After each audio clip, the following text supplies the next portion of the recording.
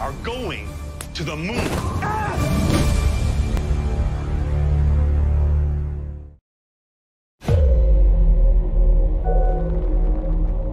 I just got a lot on the line here.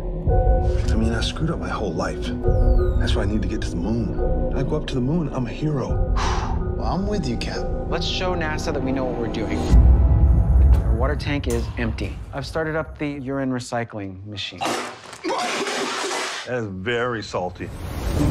Welcome to Moonbase 8. This is a very valuable NASA research project. Launch sequence beginning in nine, eight, Nine, seven, eight, six.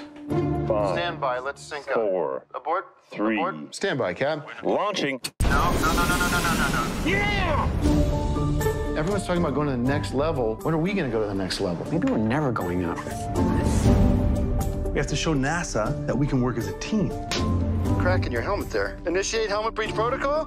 Helmet breach! We have a helmet breach. Don't you leave my body on the moon. I'm not losing you, damn it. Why did you want to go to the moon? Carry on the legacy of my father, Dr. Hanai the First, the astronaut. To help spread the gospel of Jesus Christ out into the universe.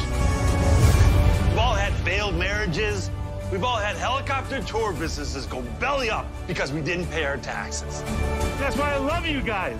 We're dedicated to a mission that's beyond our ability. But we're gonna try anyway, right? We are going to the moon. Hooray! Take your boots off before you go up on the table, though. Well, can you just have his moment here?